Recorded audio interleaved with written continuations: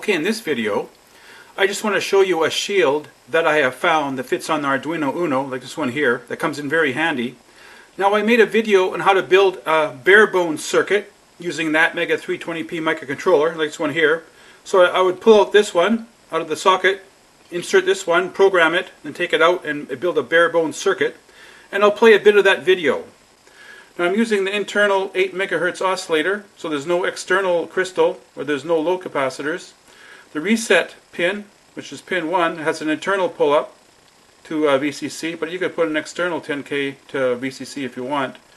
So I have some code uh, programmed into the chip, so I'll add some power, and you can see I have two LEDs connected to the GPIO pins, and it runs a little wigwag uh, program.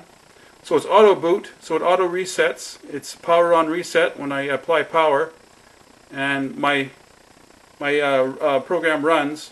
It's a turnkey program, so it powers up every time we uh, put power to the circuit. Okay, so now you can see it's a hassle. Every time I want to program a new ATmega 328p microcontroller from my bare bones circuit, I have to take this one out of the socket, uh, put this one in, program it, take it out and put this original one back in. So what I've done, I have a shield. It has a ZIF socket. It's a zero insertion force socket. So I take the original chip out of the Uno, place it in here, then put the shield on top of the Uno.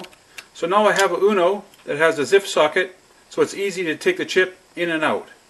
Okay, I removed the microcontroller from the Uno board and plugged it into the ZIF socket on my shield and plugged the shield into my Uno board.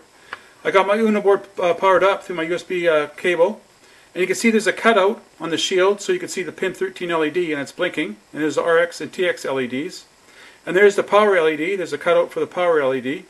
Uh, there's my 16 megahertz crystal and the two capacitors and the pin headers are the same footprint as the Uno so we can plug in another shield and I have my reset button on the top left, there's still access to it.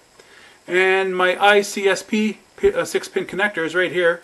So now I could plug in my new microcontroller, my bare bones microcontroller, and I could program the Forth operating system using my AVR programmer, and then uh, uh, remove it from the ZIF socket and plug it into my breadboard. Now this shield is available from Universal Solder. It's a Canadian company. It's only about $7, and you can get it online. I'll put a link in the description box. So that's my little setup on how to do my bare bones programming to make it very easy with a shield with a ZIF socket.